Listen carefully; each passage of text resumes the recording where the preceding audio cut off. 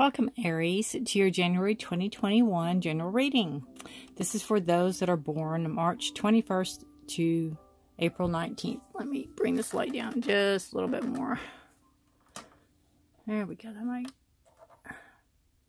Hopefully, don't be too much of a glare. That good? Hopefully, better. All right. So, you are a uh, Cardinal Fire. Put you right there.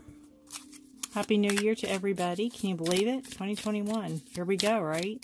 See what the cards have to say for you for this month. I appreciate you watching. Uh, appreciate your like, shares, and subscribes. If you have any um, questions, you can comment down below. I'll be happy to answer any questions.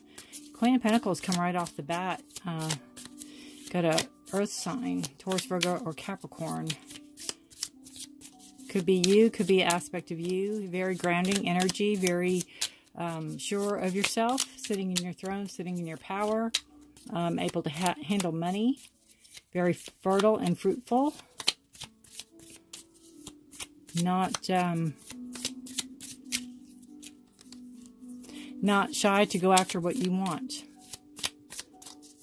You didn't get to be the queen just by sitting you know, just sitting and letting somebody else do the work.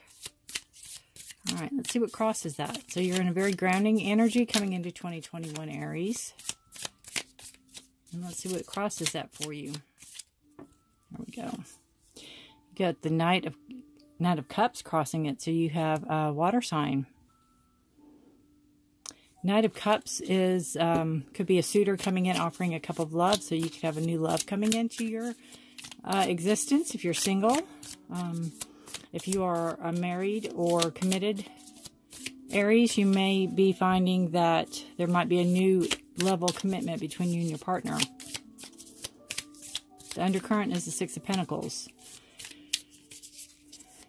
And it is um, balance. It is what's beneath the reading. It's in an imbalance. So we'll, we'll touch back on that.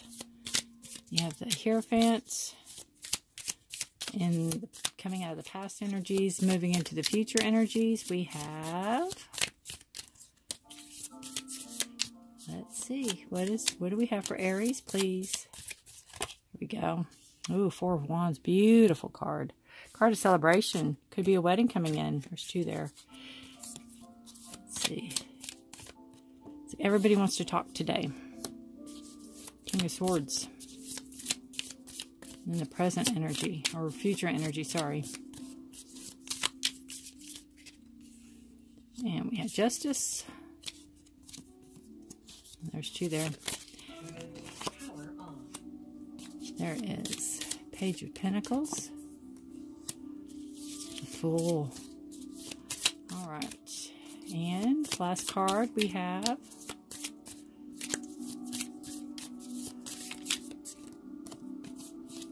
there.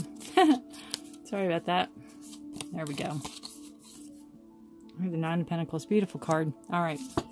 Bottom of the deck, you have the Ace of Wands. So you have a, a new beginning, some type of hesitation and a new beginning, something that you're passionate about. Scoot these over just a little bit. Wasn't sure how these play on camera, so I think we can scoot those over and down. All right, Aries. We have what represents you is you have the Queen of Pentacles. So again, it's it it presents as a woman, but it can be a man. It's just the the the energies of the card, which is somebody that sits in their power. They're very grounded. They're very um they're very nurturing and can be fertile. They like to, you know, they grow things. It's very earthy card. Taurus, Virgo, Capricorn. This could be an aspect of you. It could be your partner. But what crosses that is the the Knight of Cups, and that's usually a card of, um, it could be a, a card of somebody offering love to you, or a cup of emotion. Some somebody could be maybe coming through to talk to you about their emotions, or come clean to you about it, or let's see, with the Queen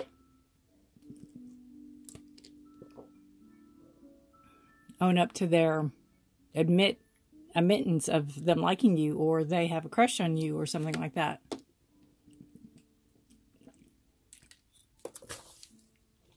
Sorry about that. I'm thirsty.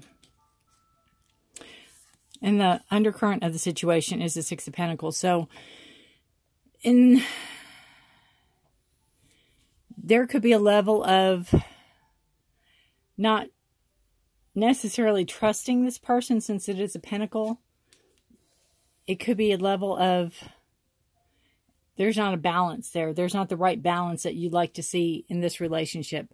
It could be coming out of a past relationship energy that maybe you're distrustful a little bit coming into the future relationship of this um, person. If it's, again, if it's a Taurus, Virgo, Capricorn, you could be the one offering love, or you could be the queen sitting in the power or queen energy, and, and they're offering the love to you. Um, because again, you have the dynamics. You have the knight, who obviously the queen outranks the knight. So uh, it possibly could be a work situation with the pentacles. Um, could be where you've had a work situation in the past that didn't end well, and you're really hesitant to go back into that. Uh, the past energy you have coming out of leaving is a Hierophant, and that is um, a very ritualistic or very uh, practical, a very traditional way of doing things, a very traditional um, outcome, a very traditional practice, a very traditional everything way of doing things. Uh, you could be coming out of um, this could be maybe a non-traditional relationship or what what society might consider non-traditional. Um, or you could have had a non-traditional but society deems non-traditional this is more traditional. I don't know how that would play in. Um, but it's also a high, higher knowledge card too it, it's, you know, going to somebody that has the answers or claims to have the answers to. It's a higher knowledge, higher learning card, higher, um, higher way of doing things traditionally, I guess is what I'm trying to say. But the present card you have, the energies you're going into is a Four of Wands, and that is a card of celebration. It's a card of passion. It's a card of stability. Uh, so whatever this relationship is that you are in or going into right now, it will be a very stable one. It's going to be different than uh, ones that you have gotten out of in the past. The present energy of the King of Swords. And that, again, is it's the king. So you have a male energy, not necessarily has to be a male. It's just the energies. It's um, somebody again that sits in their power. They're very, that very analytical. They are um, very good. They're good speakers. They're good. You know, they're good listeners, but they're good speakers, and they're very fair. They're very. Um, they cut to the chase of things. They don't mince words. They get to the heart of the matter really quick you have this person or this energy coming into the present. Um, so it could be where even this relationship might be moving a little faster than you might want it to. So that's up to you whether you need it to slow down a little bit. Because the knight, you know, he can move pretty quickly.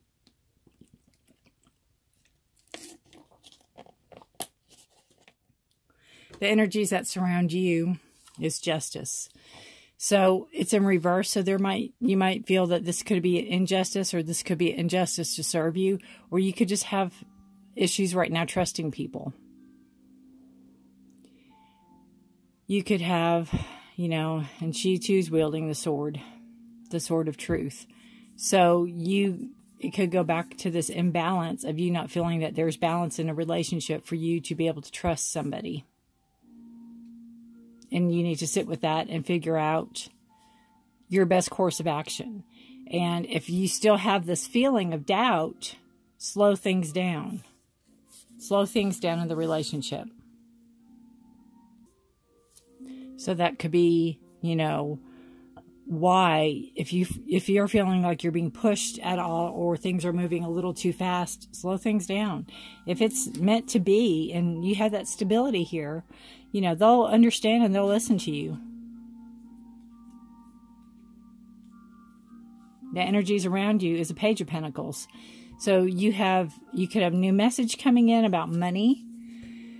Um, this person that you're with or you could have a younger you could have a, a child from a previous relationship that you know is that's around you that's that's a big part of this that could be your hesitation or that could be your your fear of um, the injustice you know you're afraid that they won't treat the child fairly or you know you have this is your top priority so that's the energies around you because that's very I mean, that's that's that surrounds you. Your hopes and fears is a full card, so I would say it's um. Oh, it could be either. The hope is that you could just let things go and trust, have blind trust, and everything will work out fine. And the fear is, you know, you'll look foolish and some you'll be too hasty and you're going to miss something and everything's going to go, you know, it, it, the imbalance too. He doesn't have the right colors on. They're they're mismatched too. Um, but you know, your your fear is that you'll you'll be too hasty and you'll act like a fool and everything can fall apart. So you have again that imbalance of the trust.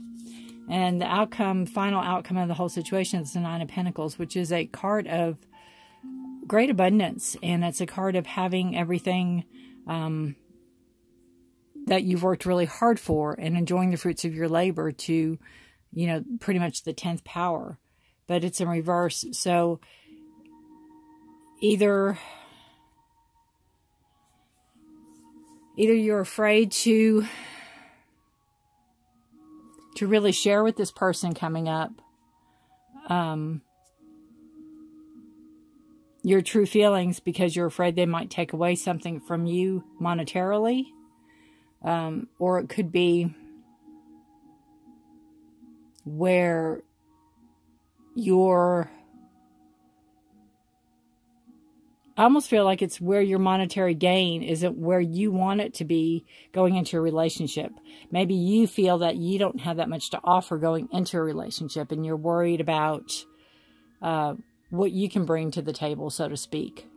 But again, if it's a any relationship worth having, it's got the stability and they will wait or they'll work with you or, um,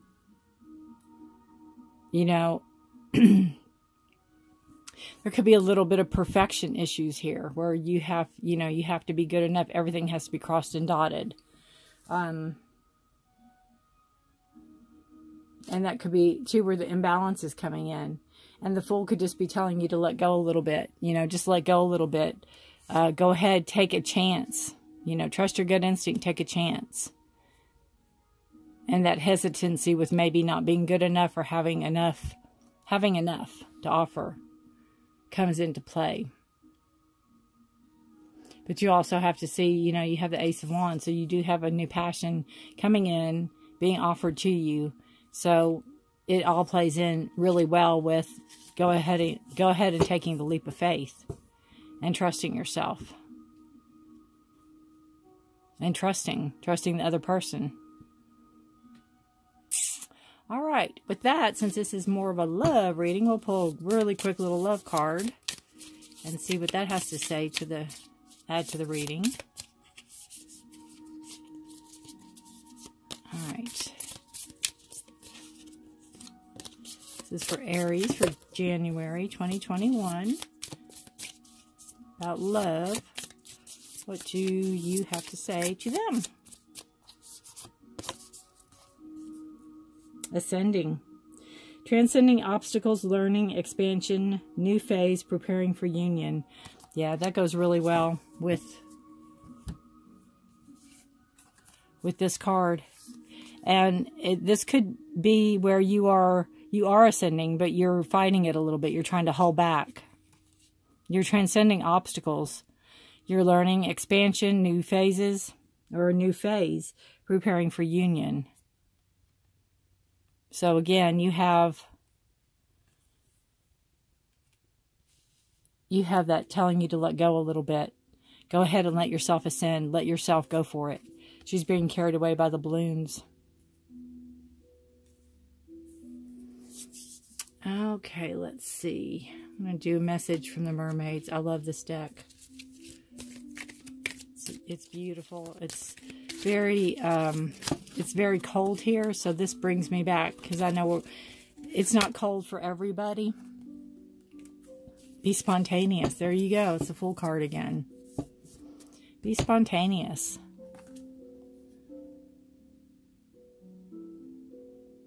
Isn't that beautiful? Let's read a little bit from the book. Do something that takes you out of your normal routine. Life can be a little too predictable when we become creatures of habit. It's time for positive action. So, again, that's the Fool. Be spontaneous. When this card appears, it's a strong message to try something new, to mix things up. Get yourself out of that comfort zone. Um, in a positive way, nothing needs to be disrupted. A small change can make the world a difference, not only to yourself, but to others says, however, if you don't relate to this interpretation, another message from this card is that perhaps it's time to stay in your comfort zone. The routines and safety may be exactly what is needed in your life right now. And two, that goes back again to the imbalance where you're not ready to trust. And as I said earlier, if you're not ready to, don't. I mean, don't don't put yourself out there. However you're feeling is the right way to feel. So the fool is telling you to take a leap of, of, faith, but it's also in the, the hopes and fears. So it's also telling you, you know, to be careful if you want to take that leap of faith. So you have that, again, the double edged sword. You have the card that says be spontaneous, but then it also says if it feels right for you. If it doesn't, then, you know, sit on it for a little bit. So this is kind of a totally up to you reading, which all readings are. There are um, suggestions of what it can come up. You are in the driver's seat. You're in charge of this, so you have control over how this all really plays out.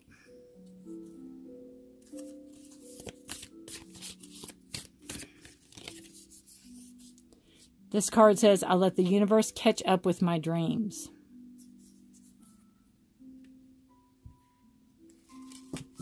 So that tells me you dream really big, and it might be time to just kind of sit back a little bit be spontaneous, but maybe not out of control. Where the fool would be more hasty and more, you know, more, um, I can't say out of control, but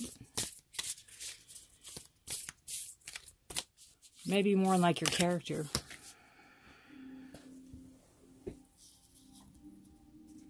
Oh, goodness.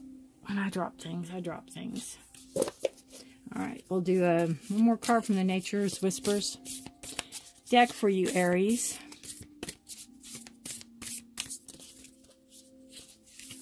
Let's see what that has to say. This card says breakthrough. And I don't know if it means, well, I guess it can mean either or, you know, like you are literally breaking through. You're having an epiphany.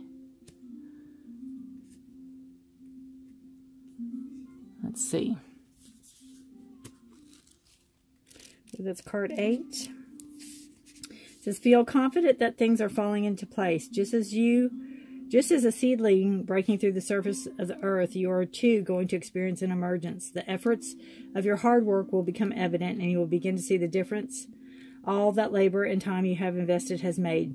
Count your blessings. You are gifted with a creative touch and the ability to generate new and wonderful things. Take a moment to feel proud of yourself for all you have accomplished. So definitely, that goes back again, being the queen. You've accomplished a lot. You know you have accomplished a lot. And be ready. Be ready if you choose to move forward and go forward and your spontaneity, it could cause, you know, the breakthrough that you've been looking for, the movement forward out of this uh, maybe repetitiveness and the imbalance that you've been having in the past.